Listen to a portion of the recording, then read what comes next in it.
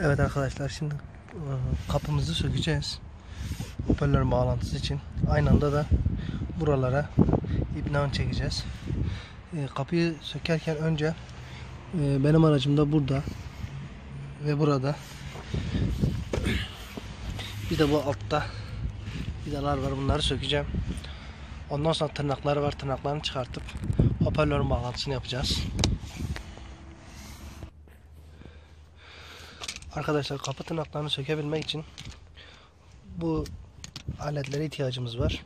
Ben bunları sipariş etmiştim ama gelmesi geç sürünce ön kapıları tornavidadan sökmek istedim.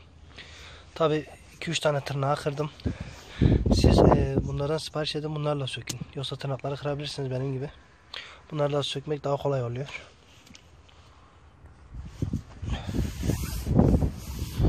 Öncelikle kapının her tarafında tırnaklar var. Bu aparatı aradan sokup tırnağı çıkartıyorsunuz. Evet kapımızı çıkarttık. Tırnaklarını. Şu an hoparlörümüz burada. Hoparlörümüzü söküp yeni aldığımız son hoparlörleri bağlayacağız.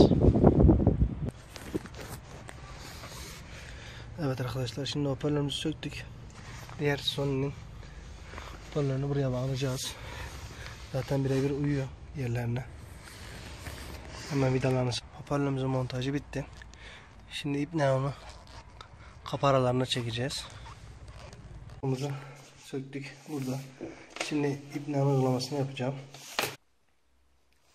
Evet arkadaşlar ipne'nin da montajı bitti şu an. Kapımıza çektik. Testimiz de başarılı. Hemen kapımızı yerine monte ediyoruz. Evet arkadaşlar montajımız bitti. İpne'ni da çektik. Şu an